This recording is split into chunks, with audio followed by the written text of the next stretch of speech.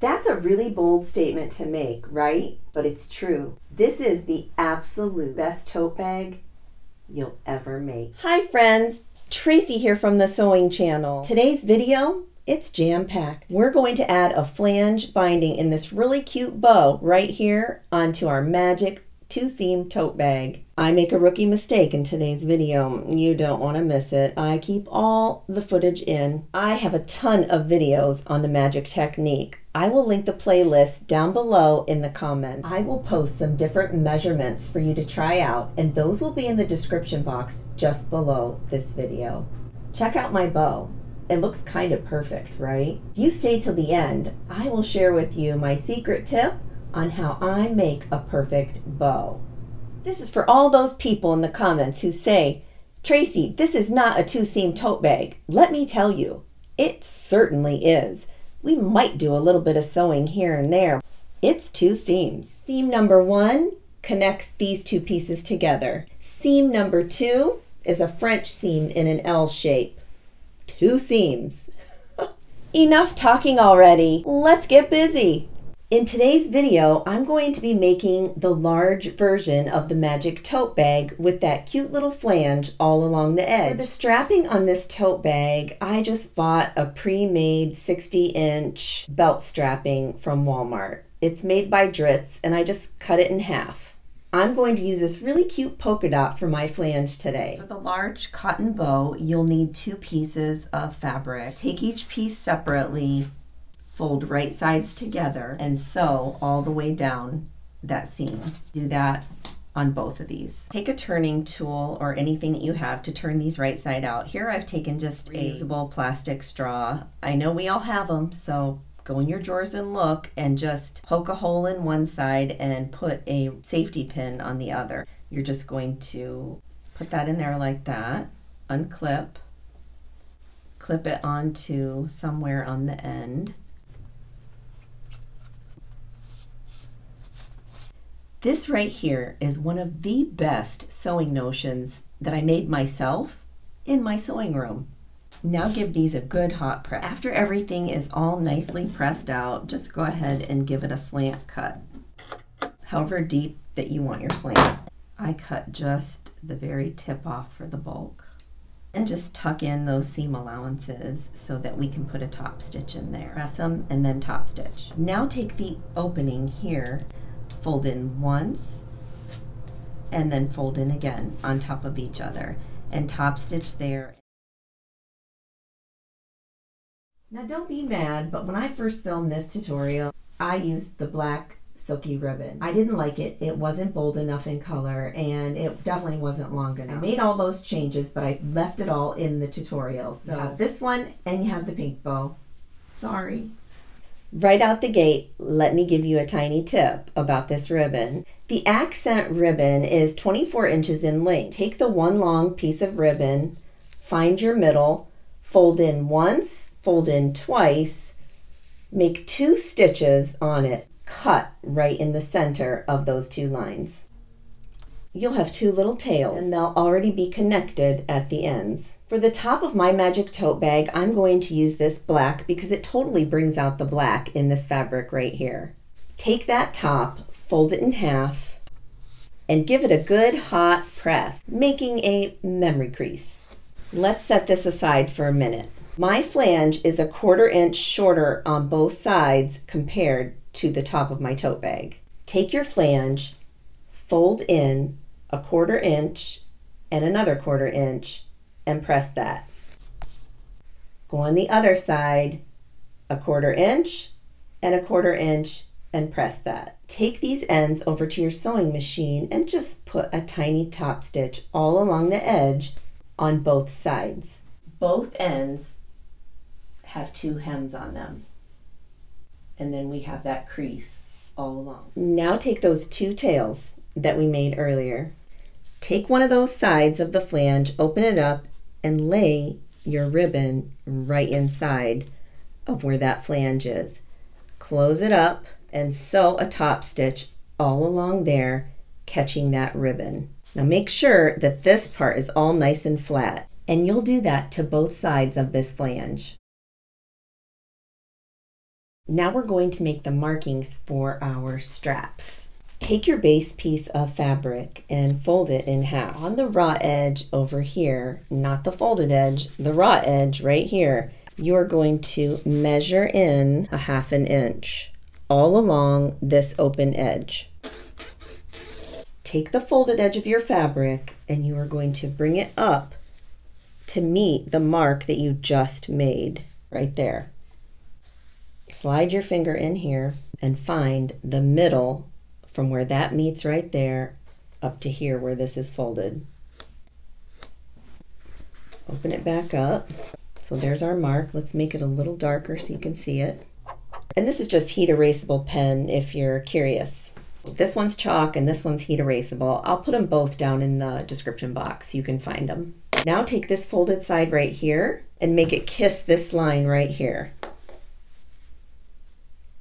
just like before how we did over here, but now we are matching it up with the middle. Once it's matched up there, follow your finger along the inside there, mark it. Now take this line and make this one kiss over here. Put your finger in there and mark this crease over here. These two marks right here are the ones that I want you to worry about right now. First things first, lift this up and over, transfer this mark onto this side. Now open up your fabric. I'm going to turn this around so the marks are facing you all. Now take your flange piece right here that already has these two ends sewn on it you're going to lay the middle of your flange on top of the middle of your base piece. Pop a pin, get out your straps, pull this back a little bit and try to find the line right here and the line on the side that you made. Pop a pin right where that line is and put this back like that. Take the end of your strap and find the middle of where that pin is and then pull the pin out and then pin all of those layers together. The strap, the flange, and the base. Come over here and do the same thing. Pop that pin right where you made that line. Lay your flange down, find the middle where that pin is. Make sure though that your strap is not twisted in any way because you'll be mad if you sew that twisted, trust me. Line this strap up just like so, where the middle is unpin and then pin all the layers again back together just like you did over here. Come over here, find those two marks right there and right there. Lay your flange back down, lay your strap right there. Make sure it's right in the middle of that one inch strap, your pin. Unpin and pin all layers together. Make sure your strap is not twisted. Unpin and pin all layers back together. I want you to notice on the sides here that you do have a little more than a half an inch, three quarters of an inch over here left on both sides. Let's pop a couple more pins all along here, connecting the flange and the base together. Now I want you to take it to the sewing machine, start here, and go a quarter inch all the way down stop and backstitch down here. You should have something that looks just like this. Everything is nicely tacked down. Nothing is going to shift at all when we make the magic here in this tote bag. Grab the top piece now and put it face up on your table. Now lift the base piece that has all that stuff connected to it and match it up raw edges right there. Match up all along that raw edge. Are you kidding me? Did I twist that? Oh my word. Ah, look what I did. I twisted it. it happens. It totally happens. So if that happens to you, unpick one side, which I have to do now, then resew it untwisted. I've recovered from the fatality. Now everything is untwisted and we are ready to add the top onto this tote bag. Take your top piece, put it face up, fold it in half and find the center. Finger press to find the center. Open it up, find where you finger pressed and then mark it. Your top is face up. Now grab your base, which is face up as well. And remember the middle right here was where I had that seam, so I know where the middle is. I'm going to lift it up right on top of the middle of the top piece. Lay everything out, press with your hands, making sure that everything is nice and flat. And make sure that your ties are out of the way too. Grab some Wonder Clips. Once everything is clipped all along the edge here, then you're going to take the base piece and roll it up encasing the straps within there. Be sure not to grab this piece just yet. When you get about up to there close to the flange part, you're then going to grab the middle right here, unclip, lay that down so that all raw edges are meeting up, and then reclip that together. Come over here and clip and reclip. So you're going to unclip and reclip all along this edge, encasing all of that in this tube. Take it to your sewing machine and sew a quarter inch all the way down here. Be sure though that you don't sew on your ties. It's a race to see if my camera battery runs out before I get this tutorial done. Here's the magic right here. It's about to happen. You should have this tube. It's all sewn together. Grab inside this tube and pull the base of the bag out. Try not to tug on the straps because you don't want to pull anything out. I don't think you would, but just in case. You know, you just sewed it. You don't want it to, you don't want to have to re-sew it, right? Mm, I know. I hate redos, so. Ta-da! It's not done yet. Press this all out nicely right here lift up your straps and press here, press everything down with a hot iron. Once everything is nicely pressed down, you're then going to lift the straps up this way and pin each one as straight as you can get it. The flange lays down this way and then the strap goes up toward the top. Now we're going to take it to the sewing machine. We're going to sew a top stitch here along here, go up, across, down, this way, go past there, go up this way, this way, and continue on doing that top stitch so that our strap is all nice and sewn down.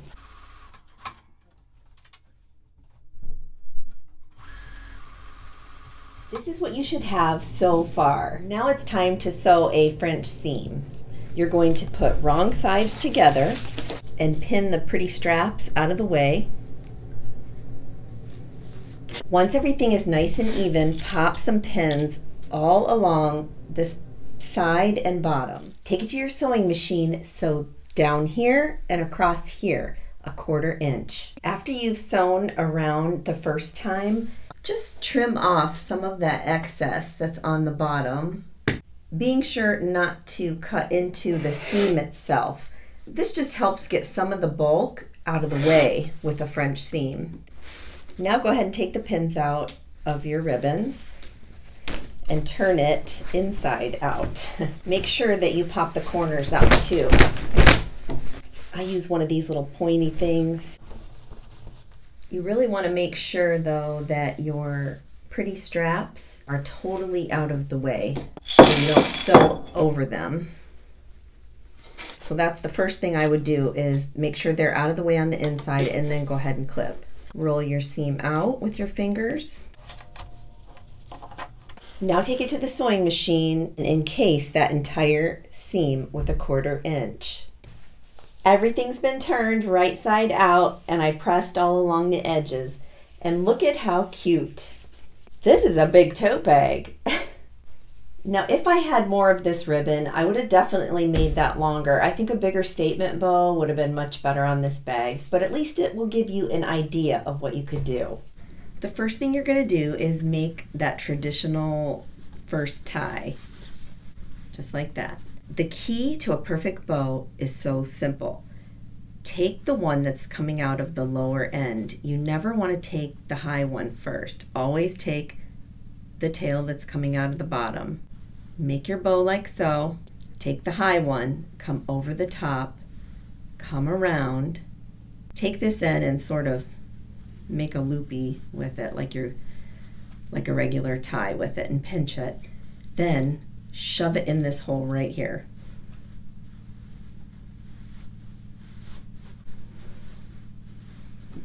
Perfect bow every time.